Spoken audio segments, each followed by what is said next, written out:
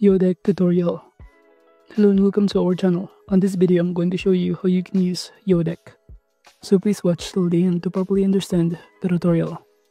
And to create an account on Yodeck, you can also use my affiliate link below the description where I earn a small commission at no additional cost to you. And by using the link, you may also get some discount or rewards upon sign up.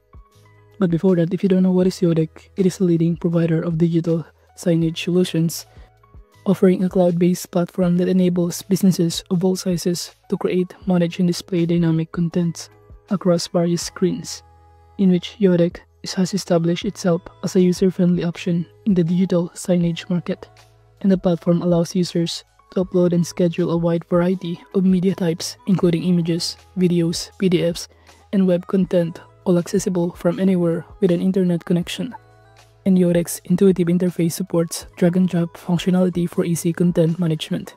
And now to create an account, just click the link in the description. Or you could also click the get started button on the top right corner in here. And upon clicking on it, you will be directed on this page where you can sign up using your Google account, Microsoft account, or email address in here. And after signing in, you will now be able to be directed on this dashboard. And from here, just simply fill out on this pop-up window the required information order question, for example, this one, what type of work do you do?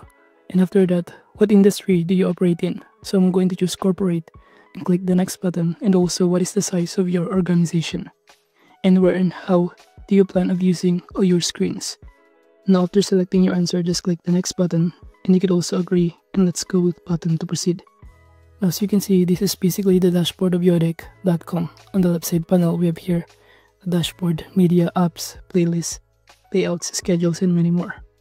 Now under this welcome page, you could also click set up your first screen by clicking this one. You could also start setting up depending on your preferences on this too. But I'm going to skip this part.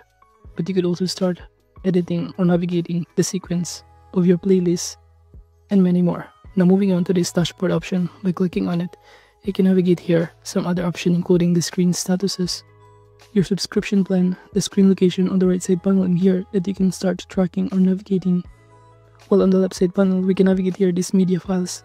By clicking this one, all media, you can start seeing all of the images, videos that you could also start adding here or uploading from your computer files.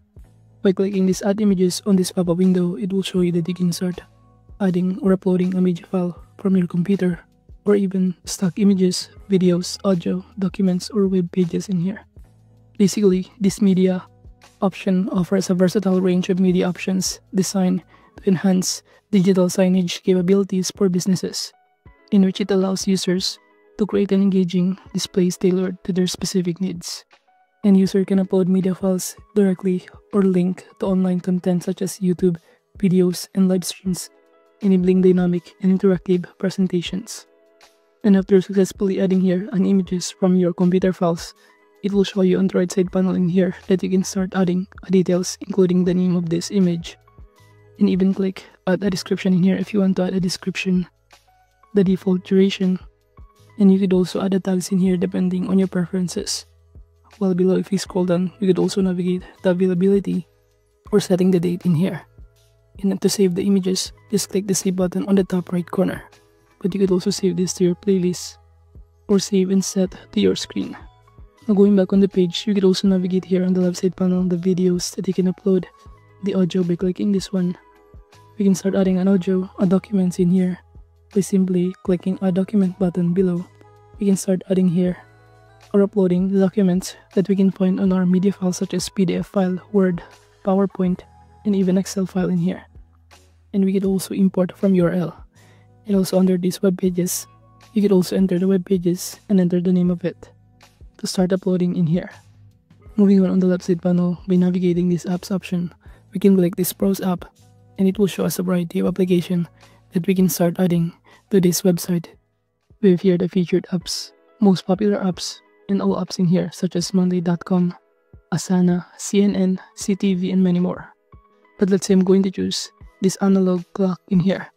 By clicking this analog clock, you'll be able to see here that we can start clicking this use app in order to be directed us or start using this kind of application.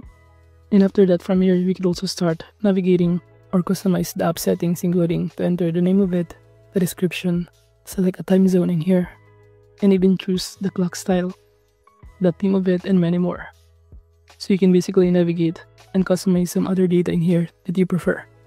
And after that, if you're not done, just click the save button at the top right corner to proceed saving the apps. Now it will show us in here all the items under apps in here. And by clicking these three dots, we can navigate to edit, add to playlist, and add to screen. Now moving on to this playlist, by clicking on it, from here we can start clicking add playlist to add one and choose either classic, tag base, Dropbox, OneDrive, and many more. And I'm going to choose classic and click add. And from here we can start adding here the library, media files, or upload from our computer. So basically from here it will allow users to compile various media files such as images, videos, web pages, and layouts into a single sequence, and users can easily create, manage, and customize this playlist through an intuitive interface, enabling seamless transition between different media elements. So as you can see, we can simply choose any kind of media files from our computer depending on your preferences. Then click upload to proceed. And it will now show you that the images has now been added below the library so you can simply click this button or option and it will be added in our playlist option or images in here. Now moving on under this library, you can also navigate some other options including apps, web pages, layouts to add on your playlist depending on your preferences. Including these layouts for example, you can add this item or media by clicking this button. It will automatically add it to your playlist images. And if you're not done, just click the save button but before you save it, make sure that you also fill out the name and also the description of it. You can navigate also the transition option, playback options in here. And now aside from playlist, you could also navigate this layouts option by clicking on it. From here, you can navigate here to add the layout depending on your preferences or clicking here the layouts that has already been in here and start navigating or customize this one such as to arrange some of the elements in here, the context, the color of it, and even the font style, font size, font color, the background and other elements in here of this kind of layout.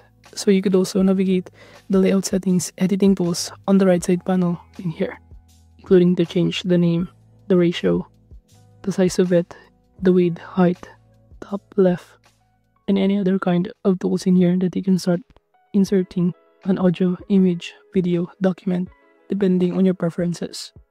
So basically from here, users can choose from a wide selection of free templates tailored to different industries such as retail, hospitality, and education, or create a custom layouts from scratch.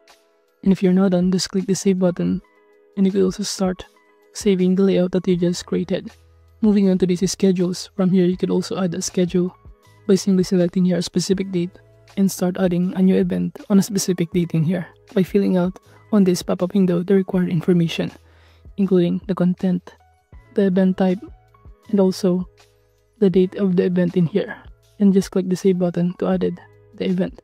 So you can basically do the same process of adding an event in here depending on your preferences or even do this one in which you can start selecting any date or time when your event gonna start and end. So basically this schedule option is designed to provide users with flexibility and control over their digital signage content and the scheduling features allows users to specify exact times for different screen layouts, playlists, or media files to be displayed, enabling tailored content delivery based on the time, day, or specific events.